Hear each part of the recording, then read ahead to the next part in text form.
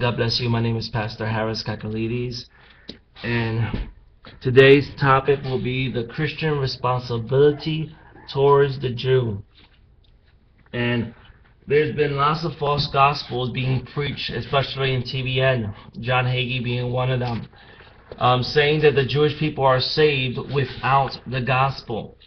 Um, that they're saved to the um, through the, the Torah, through following the law, and I, and I, that reminds me of a heresy that was um, back in the second century, second and third century. Um, it was found in the Homilies of Clement, um, book chapter 8, um, chapter 7. Um, I want to read this. Um, I don't believe this. This is against heresy. This is against what the gospel preaches. But this is something John Hagee is teaching. It says thus. Thus the Hebrews are not condemned because they did not know Jesus, provided only they act according to the instructions of Moses, and do not injure him whom they did not know. And again, the offspring of the Gentiles are not judged who have not known Moses, provided only they act according to the words of Jesus, and do not injure him whom they did not know.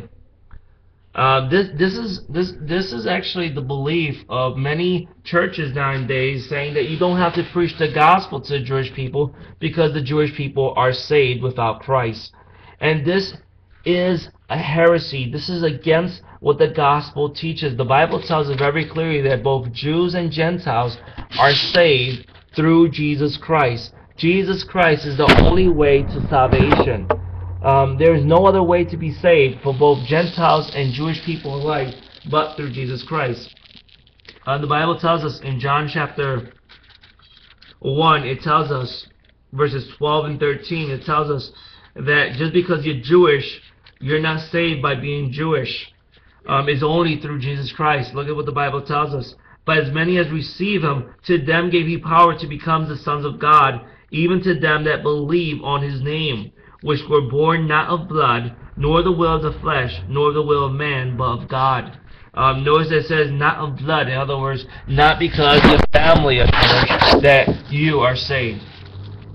Also, the Bible tells us in Romans very clearly, Romans chapter 1, verses 16 and 17 tells us, For I am not ashamed of the gospel of Christ, for it is the power of God unto salvation to everyone that believeth, to the Jew first, and also the Greek.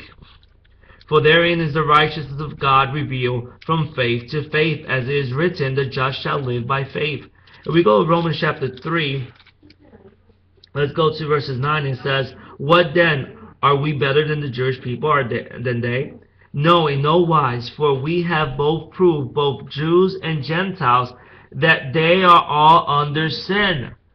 And and then if you continue and, and you go to verses 21 to 24, it says, But now the righteousness of God without the law is manifest, being witnessed by the law and the prophets, even the righteousness of God, which is by faith of Jesus Christ on, unto all and upon all them that believe.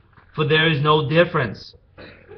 For all have sinned and come short of the glory of God. Hallelujah.